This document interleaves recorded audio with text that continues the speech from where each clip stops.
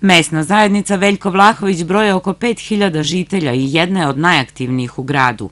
Redovni sastanci saveta kao i brojne manifestacije koje organizuju zahtevali su i adekvatan prostor za rad, ali to baš i nisu imali. Jedan čovjek se naslonio na prozor, prozor je pao, srećo niko nije bio sa suprotne strane, inače bi se povredio.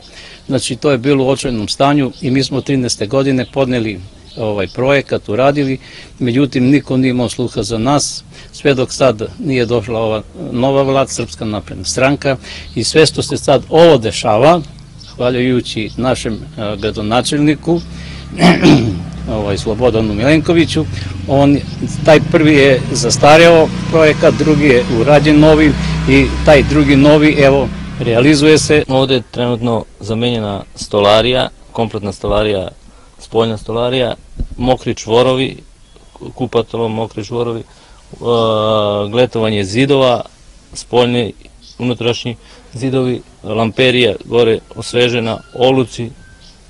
Što se tiče krova? Krov je trenutno dobar, nije, nije curio.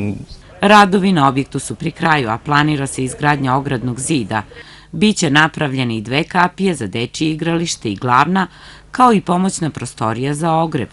Grad je rekonstruisao već četiri mesne zajednice, a sada se završava i peta. Nadamo se da za, do kraja ove nedelje bude i završen objekat što se tiče toga.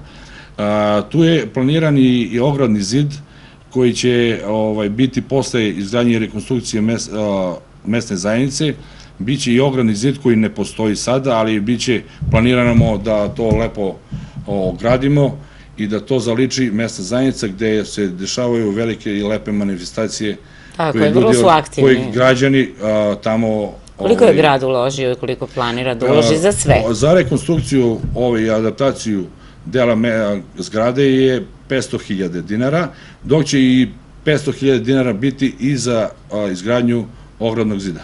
Biće sređene i zelene površine oko objekta, jer kako kažu žitelji, žele da za manifestacije koje organizuju imaju lep prostor. Takođe, želje im i da njihove manifestacije postanu gradske.